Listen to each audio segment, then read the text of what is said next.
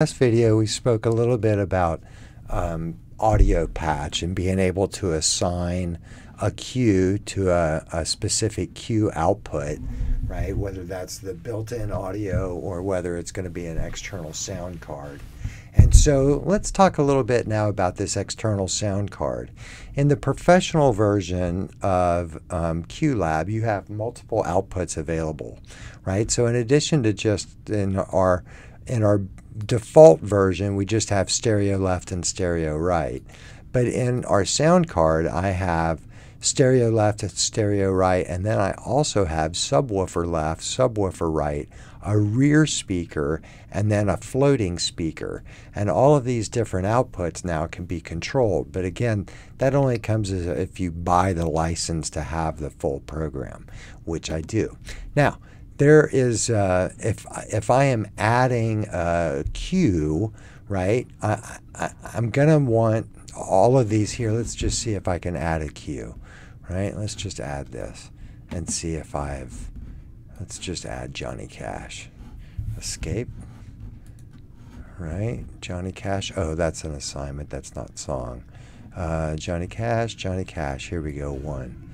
Right, we'll add Johnny Cash right? And so let's change that. See, now I've added that cue, and I want it to play through my um, sound card, and you'll see that it has all these, um, all the faders are now active, but I haven't routed them anywhere. In order to route them, I'm going to need to assign 0 dB to the stereo left subwoofer. Remember, input one is stereo left, stereo right, and that's coming from the song. And then these are the outputs speaker left, speaker right, subwoofer left. So we want to connect it to input left. The next one, number four, is subwoofer right, which wants to also be connected to input stereo right. Now, my rear speaker wants to have both left and right channels um, to play to it, and my floating speaker wants to have the left and the right.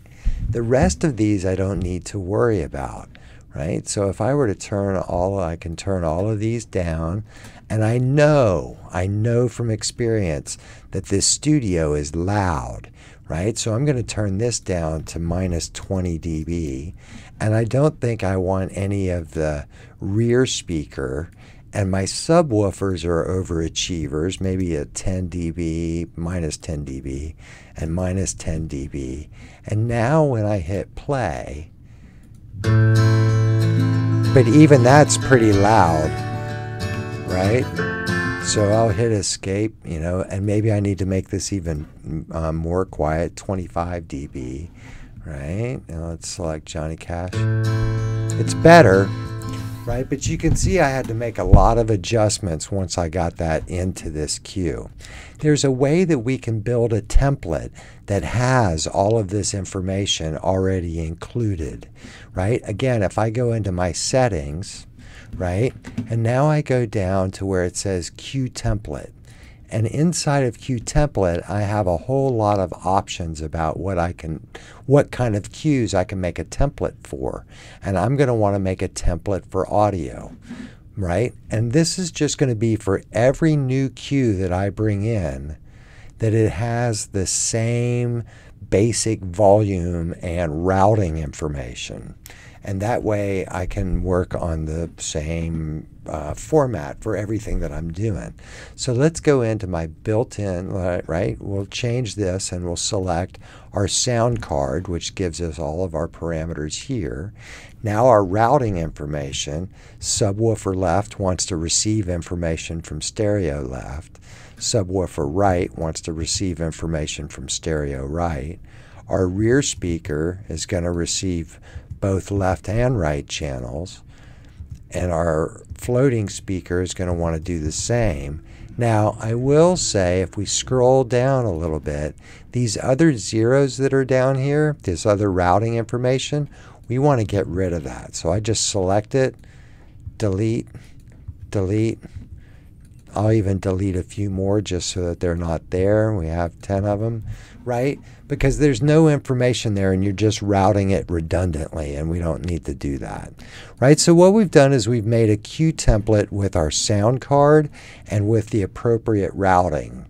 Left, right, left, right, left and right, left and right. Now, the other thing that we had were some volume changes, right, or volume settings. We'll turn our rear speaker off, our floating speaker off, our subs at minus 10, right, this sub at minus 10, and I think we decided that our main should be at minus 25. We might even make it minus 30, and let's see how we do. Right, so now what we've done is establish a cue template. Let's see what happens if I were to drag in. Let's see if we have another one here. Heartbeat, My Culture, Milk Carton Kids. Um, uh, let's see what this one does, right? Let's go ahead and drag Pink Floyd in. So I just drug in Pink Floyd, and if you'll look, you'll see that my routing information came automatically with this new cue it also set all of my routing for that new um, output patch is already preset at the bottom left, right, left, right, left and right, left and right, as well as my rear speaker and floating speakers are out. My subs are at minus 10 and my mains. Let's see. We should be making sound. A little bit there. It's a heartbeat.